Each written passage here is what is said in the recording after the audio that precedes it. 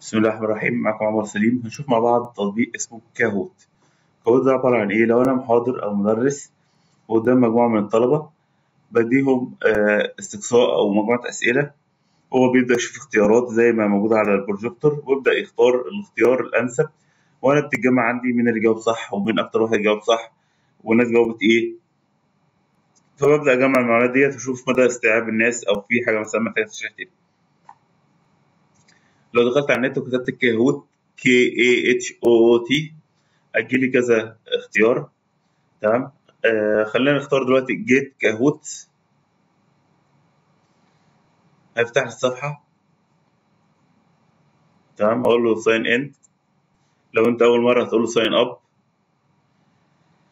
ف sign in بيقول لي ابدأ بقى شوف الأسئلة أنت عايز تسأل في إيه؟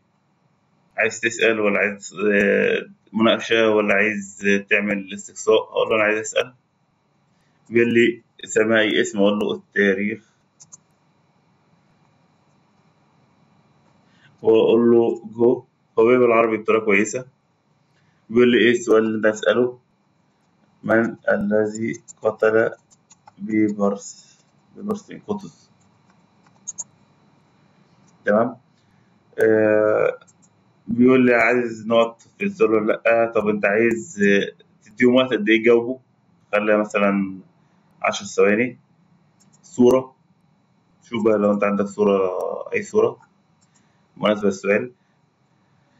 آه طيب الإجابات. هقول له مثلا بيبرس شجرة الدر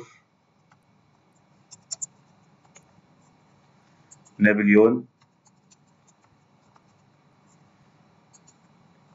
الإخوان ممكن أضيف سؤال كمان ممكن أعمل duplicate للسؤال.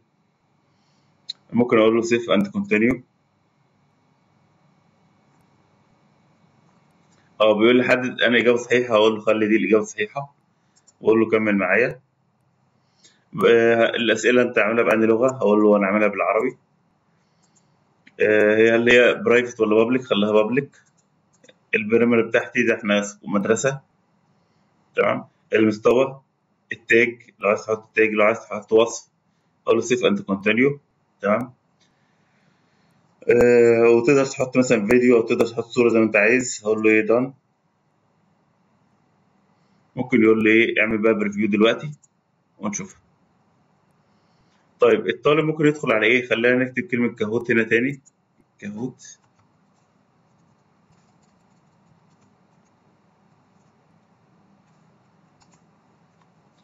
الطالب هيدخل على Kahoot dot I T. بيديله آه، game P I N. هيكتب ال P I N اللي هيظهر لي في الأسئلة هنا.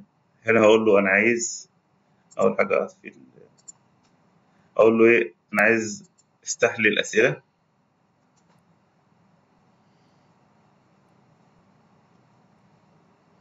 ده الرقم اللي ظهر لي. ده اللي الطالب المفروض هيكتبه هنا أو هيسطب هو التطبيق. هيظهر له برضو الرقم دوت. جيم باي إن هيكتبه هنا. طيب خلينا نكتبه. دي شاشة بسيطة. تلاتة أربعة اتنين تمانية تلاتة خمسة. تمام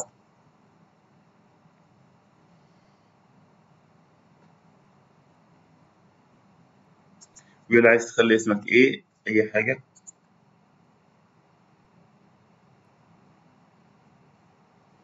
ستارت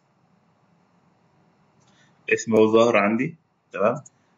لو في كذا واحد هيظهر أساميهم كلهم. من الذي قتل قطز من؟